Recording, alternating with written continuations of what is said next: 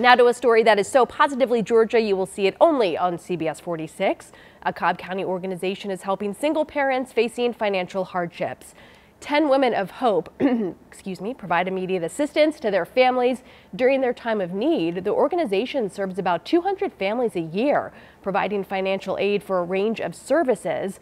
Jackie Payne, the board co-chair, says the goal is to give families stability.